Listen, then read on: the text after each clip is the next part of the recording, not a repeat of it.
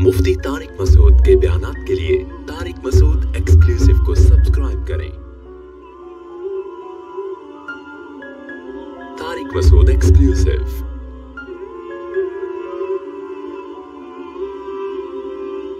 तिजारत के हवाले से सीरत की रोशनी में चंद बातें अर्ज़ करूँगा। ज़ाहिर सीरत, इस्लाम, कुरान एक ही चीज़ के मुख्तलिफ़ नाम है। इन्ना का लाला खुलुकिन अजीम। कुरान कहता है कि ए नबी आप सबसे बेहतरीन खुलक पर हैं अखलाक पर हैं। तो वो अखलाक क्या है? पूरा कुरान चलता फिरता अगर कोई देखना चाहता था तो वो रसूलुल्लाह सल्लल्लाहु अलैहि वसल्लम की ज़िंदगी में नज़र आता था। आप, आप किताब भी लेकर आए और आपने उस पर अमल भी करके दिखाया। तो इस्लाम में सबसे पहले मैं ये अर्ज़ करूँगा तिजारत की फजीलत क्या है? यही सियालकोट में एक ताजर हैं। मैं भूल गया, मैंने बताया ना कि गम बहुत पाले हुए हमने तो आप समझदार हैं, डिटेल में जाने की ज़रूरत नहीं है। थोड़ा सा डिटेल में चला जाता हूँ।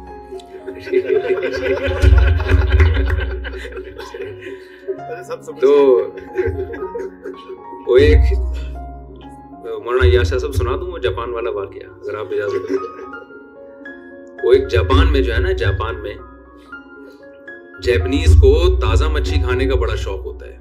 तो वहाँ होटल वालों ने क्या किया? समंदर की मछलियों को स्टोर करके बेचना शुरू किया, वो चली नहीं।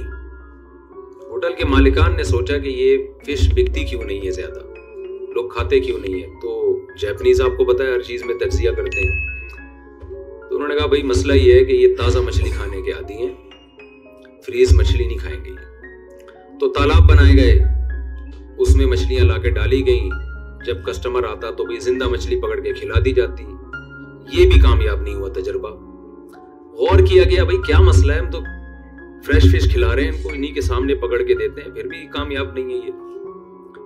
तो अंदाज़ा हुआ कि जी, जो समंदर में ये इनकी हरकत है ना, वो बहुत ज़्यादा है। तालाब में तो एक छोटा सा फासला है डिस्टेंस बहुत कम है, इनको मूव करने का ज़्यादा मौका मिलता नहीं है। तो समंदर का माहौल कैसे बनाए वही तालाब में? तो क्या किया कि जी आठ दस मछलियाँ हैं, एक शार्क मछली लाके छोड़ दी? वो एक शार्क उनको पकड़न, पकड़ने के लिए ना, हर वक्त उनके पीछे। अब पूरी एक पकड़न पकड़ाई शुरू हो गई। वो मछलियाँ कभी इधर भाग रही हैं अपनी जान बचाने के लिए, कभी उधर भाग रही हैं। ये तजर्बा कामयाब हुआ और अल्हम्दुलिल्लाह मछली में टेस्ट पैदा हो गया, क्योंकि फैट भी पैदा नहीं हो रहा था, वो उनकी एक्सरसाइज बहुत हो रही थी। तो आप सोचें, एक तालाब में चार मछलियाँ हों और एक शार्क हो। उन चार का क्या हाल हुआ?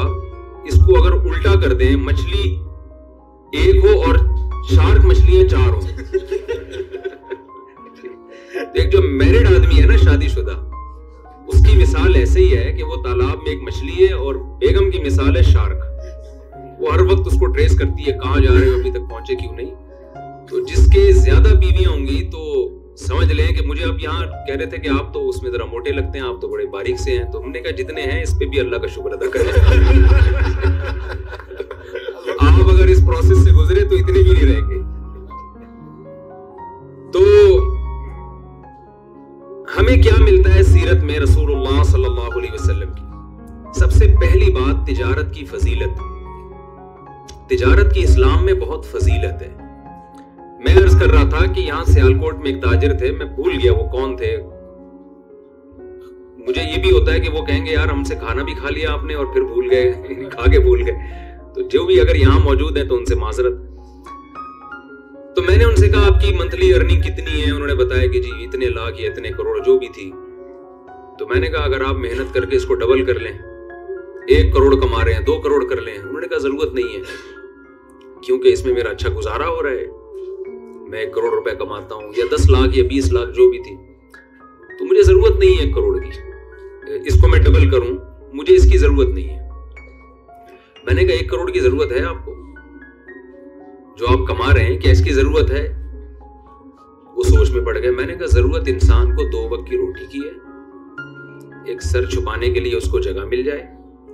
नबी सल्लल्लाहु अलैहि वसल्लम ने फरमाया कि जिस शख्स को सर छुपाने के लिए जगह मिल जाए जिसम किसी बड़ी बीमारी से महफूज हो और दो वक्त उसको खाना मिल जाए। तो ऐसे है जैसे पूरी दुनिया की दौलत समेट कर अल्लाह ने उसके कदमों में डाल दिया। वो नाशुक्री नहीं कर सकता कि मेरे पास कम है। अल्लाह का दिया बहुत कुछ है।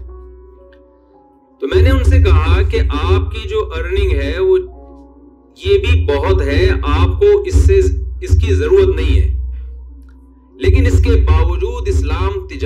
तरगीब क्यों देता है? आप इसलिए नहीं कमा रहे कि आपने खाना है, आप कौम के लिए कमाए। मुसलमान ताजिर अगर मज़बूत होगा, इससे इस्लाम मज़बूत होगा, इससे मुसलमान मज़बूत होगा, इससे आपका कंट्री मज़बूत होगा। रसूलुल्लाह सल्लल्लाहु अलैहि वसल्लम की सही हदीस है आपने फरमाया अल मुमिनुल कविय्यु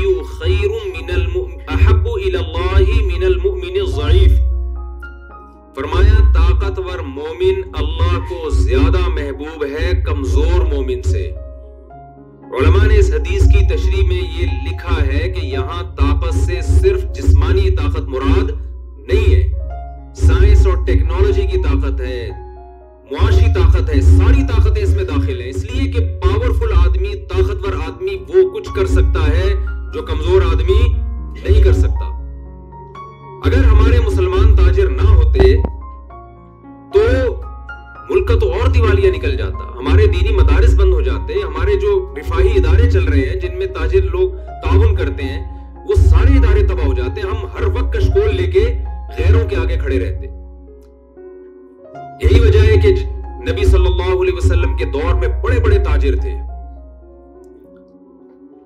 हज़रत उस्मान रज़ी अल्लाह तआला हमारे यहाँ जामित रशीद में इस पे तहकीक हुई कि रसूलुल्लाह सल्लल्लाहु अलैहि वसल्लम के दौर के जो ताजिर थे, उनके पास सरमाया कितना था?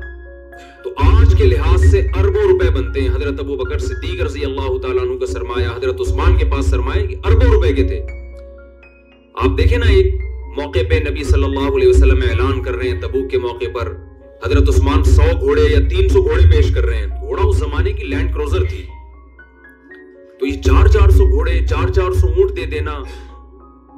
ये इसकी अलामत है कि आपके पास करोड़ों अरबों रुपए के सरमाए थे। हमारे नबी ने कभी हज़रत उस्मान से ये नहीं कहा कि आपने इतनी दौलत रखी हुई क्यों है। कभी भी नहीं कहा। कुरान मजीद में, सूरह नूर में अल्लाह ताला ने क्या फरमाया? रिजालुल्ला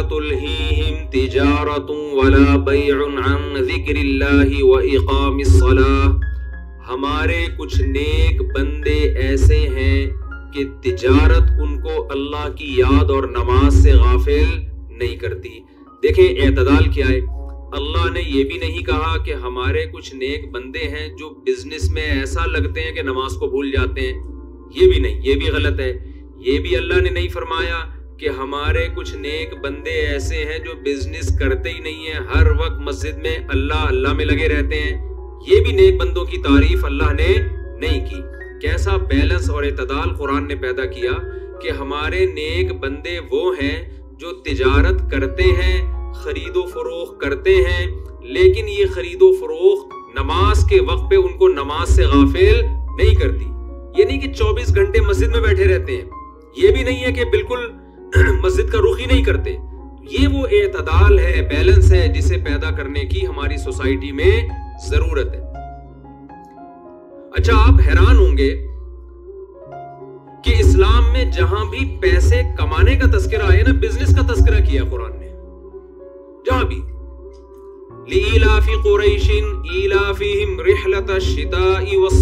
कुरान कहते हैं, कुरैश को चाहिए कि अल्लाह ने जो कुरैश पर एहसान किया, कुरैश उस एहसान का शुक्र अदा करें। वो एहसान क्या है?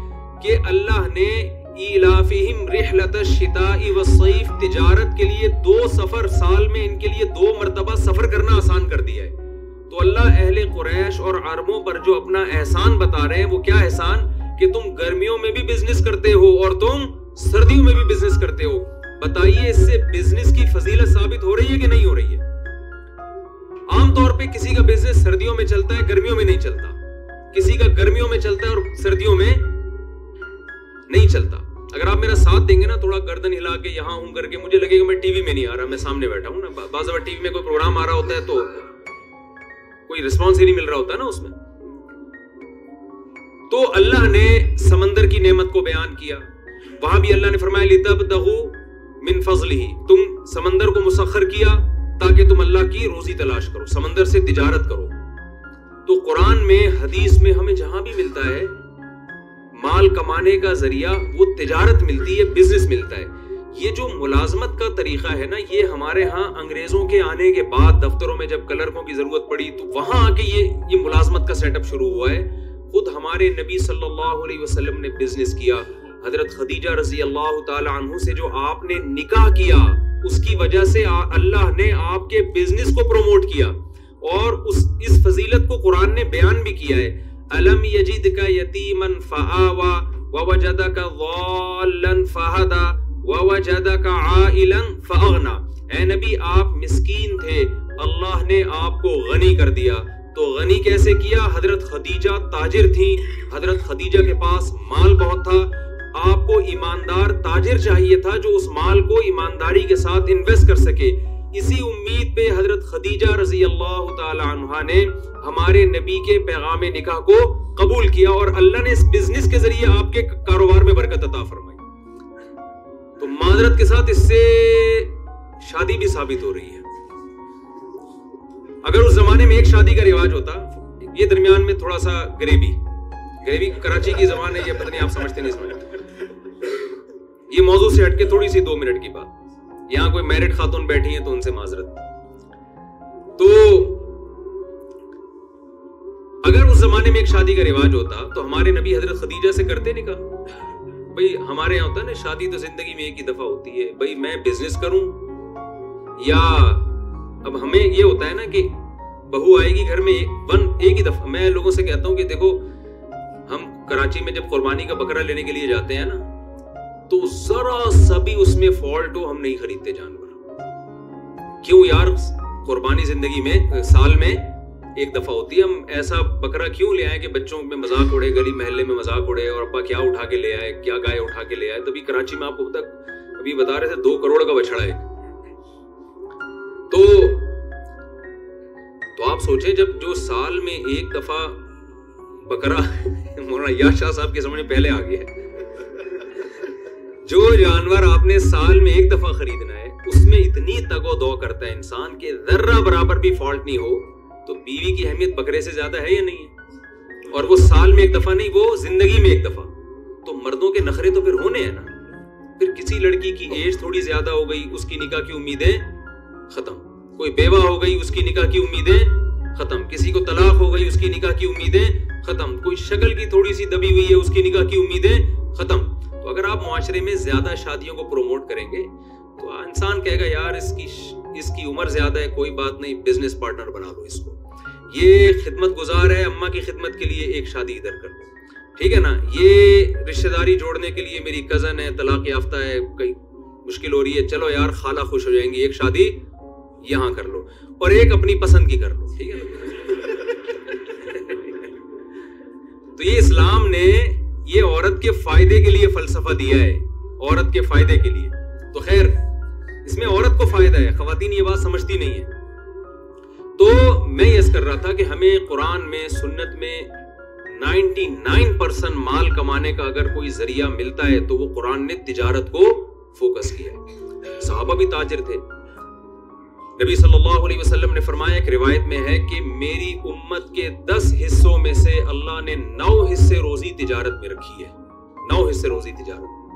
आज बिज़नेस को प्रमोट करने की ज़रूरत है, मजहबी एतबार से। हमारे यहाँ अच्छा मैं ऐसे ऐसे ताजरों को जानता हूँ कि अफगानी थे, उन्होंने स्क्रैप का काम शुरू किया, इधर से कुछ मिल गया, उठा के बेचा। और होते होते मेहनत करते करते आज उनका करोड़ों का बिज़नेस है। और ऐसे लोगों को भी जानता हूँ, जिनके अब्बा ने लाखों रुपए खर्च कर दिए अपने बच्चों को बिज़नेस पढ़ाने के लिए, उनका हज़ारों का भी बिज़नेस नहीं है। तो मैंने उसी ताजिर से सुना, जो अफगानी था ना, जो बेचारा कचरा चुनते चुनते करोड़पति बन गया। एक दिन मुझे कहना, मैंने कहा, आपने बिज़नेस कितना पढ़ा है? उसने कहा, मुफ्ती साहब, जो बिज़नेस पढ़ता है, वो बिज़नेस के अलावा दुनिया का हर काम कर सकता है। अब पता नहीं ये सही र... उसका तजिया था या नहीं था। उसने कहा बिज़नेस जो पढ़ लेगा, वो बिज़नेस के अलावा दुनिया का हर काम कर लेगा। तो वल्ला आलम, ये तो आप ही का, आप बताएँगे सही कहा है कि नहीं कहा? ये करने से आता है ना, ज़ाहिर पढ़ने से नहीं आता। खैर तो इस्लाम में पहली पॉइंट क्या हुआ? तिजारत की बहुत ज़्यादा फजीलत।